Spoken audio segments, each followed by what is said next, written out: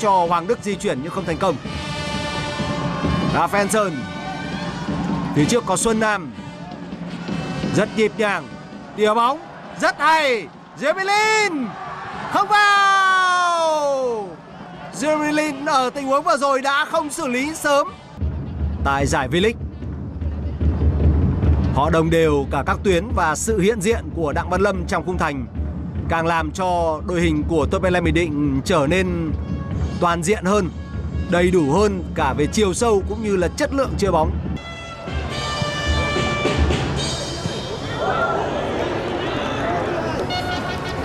Hoàng Đức. Và chạy chỗ của Venasio kéo ngã rồi.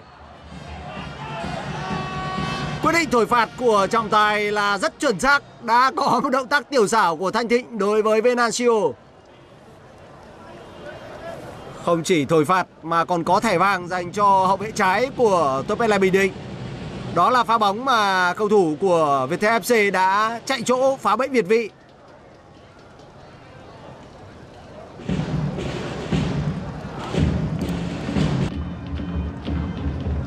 đội khách cũng đã có một cơ hội rõ rệt để có thể ghi bàn vươn lên dẫn điểm trước.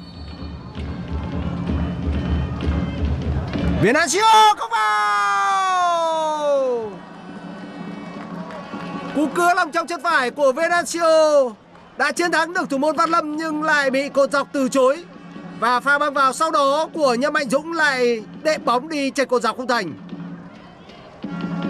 Cú cứa lòng trong của Venancio là có lực, Bóng đi đủ độ xoáy và vượt ra tầm kiểm soát của hàng phòng ngự bên phía các thủ khách. Mid 2022. Tỷ số vào lúc này vẫn đang là không đều nhưng mỗi đội đều đã có một cơ hội rõ rệt để có thể ghi được bàn thắng phải đánh đầu là của Văn Xuân Nam.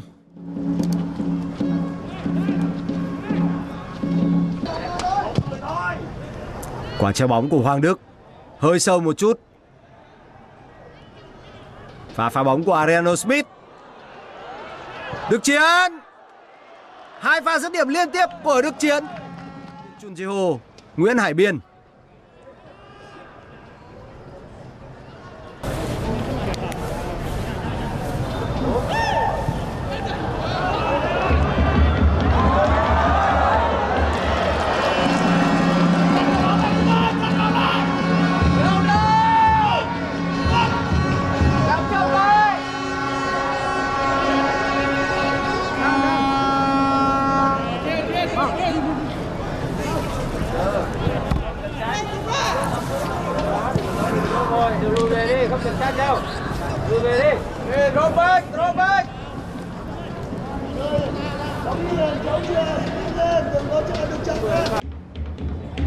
Có quá ít cầu thủ Viettel ở trong khu vực 16-50 và dâng lên để tham gia tấn công.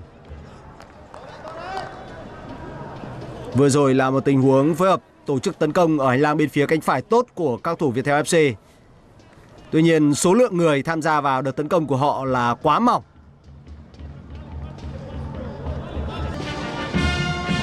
Và đá phạt góc đầu tiên của cầu thủ Viettel FC trong trận đấu game này. Thiếu chút nữa là có tình huống đá phản lưới nhà. Đức Chiến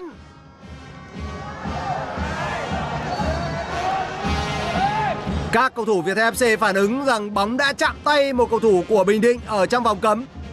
Tuy nhiên trọng tài Hoàng Thanh Bình đã chỉ tay về phía cột cờ góc. Quả đá phạt góc thứ hai. Ở tình huống đá phạt góc đầu tiên thiếu chút nữa là Văn Thành đã có một pha đánh đầu phản lưới nhà. E quay trở lại. Và lúc này những thông tin từ giới truyền thông trong khu vực cho thấy các liên đoàn bóng đá Indonesia và Malaysia đều đang có những chuyển quốc gia của nước này.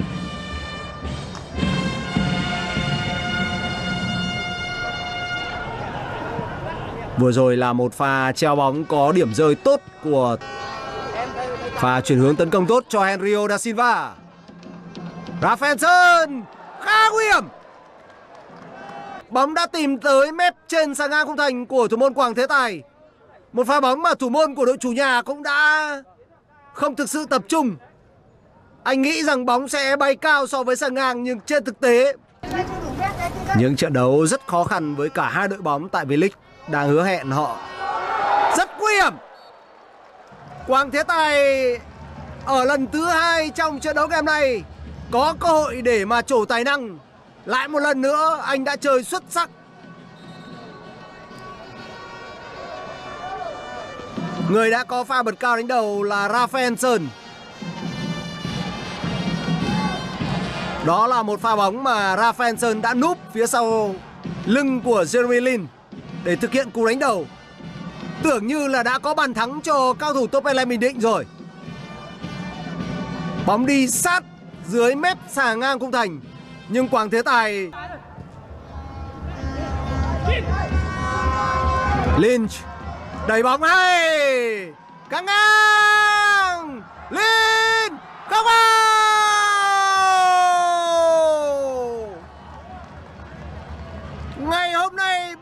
tỷ số cuối cùng của trận đấu là như thế nào Quang Thế Tài vẫn sẽ là cầu thủ xuất sắc nhất của trận đấu game này sẽ là người hùng của Viettel FC trong trận đấu này. Lần thứ ba trong trận đấu game này, lần thứ hai trong lần đối mặt với Real Berlin. Dù là cú dứt điểm chân phải hay là pha xoay người dứt điểm chân trái.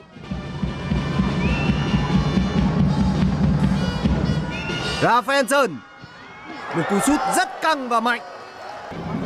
Ở trường đoàn của câu lạc bộ Viettel FC ông Đỗ Mạnh Dũng. Tiến Dũng! Cũng là một cú sút cùng hướng như Rafael Sơn Bùi Tiến Dũng đã đánh lừa được thủ môn Đặng Văn Lâm.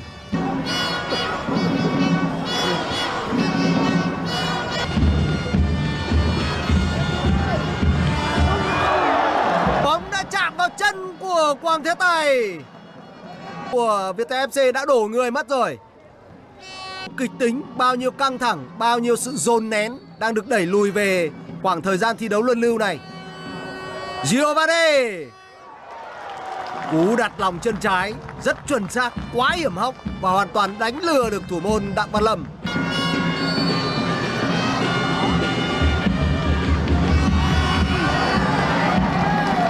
Hồ Khắc Ngọc, người vừa được tung vào sân ít phút trước đó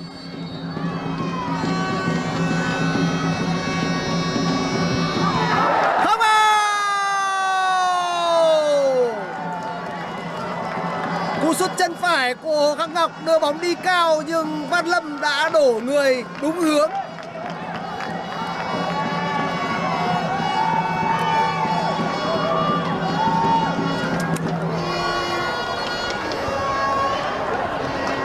Bây giờ là Nghiêm Xuân Tú Quang Thế Tài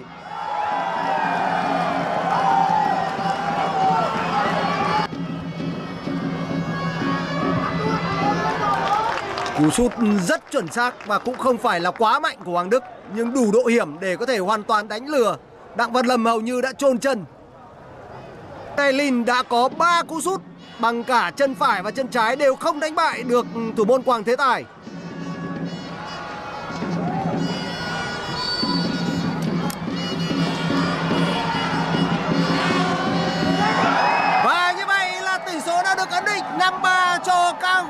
Thủ Topele Bình Đội khách đã giành chiến thắng chung cuộc sau loạt đá luân lưu với tỷ số 5-3 và giành tấm vé cuối cùng để vào chơi vòng bán kết của Cúp Quốc gia BF Beat năm 2022.